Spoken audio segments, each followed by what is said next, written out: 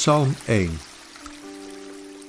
Gelukkig de mens die niet meegaat met wie kwaad doen, die de weg van de zondaars niet betreedt, bij spotters niet aan tafel zit, maar vreugde vindt in de wet van de Heer en zich verdiept in zijn wet dag en nacht.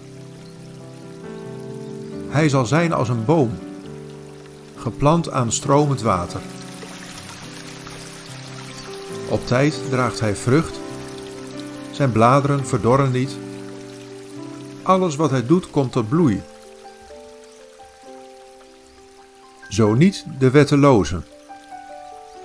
Zij zijn als kaf dat verwaait in de wind. Wettelozen houden niet stand waar recht heerst, zondaars niet in de kring van de rechtvaardigen. De Heer beschermt de weg van de rechtvaardigen, de weg van de wettelozen loopt dood.